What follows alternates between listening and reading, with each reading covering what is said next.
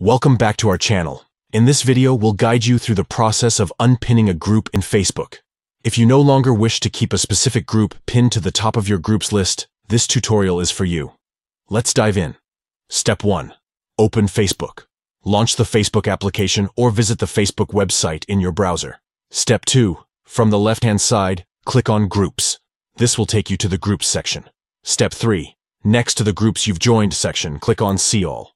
This will display all the groups you are a part of. Step 4. Locate the group you want to unpin and click on the three dots. Point next to it. This will open a menu with additional options.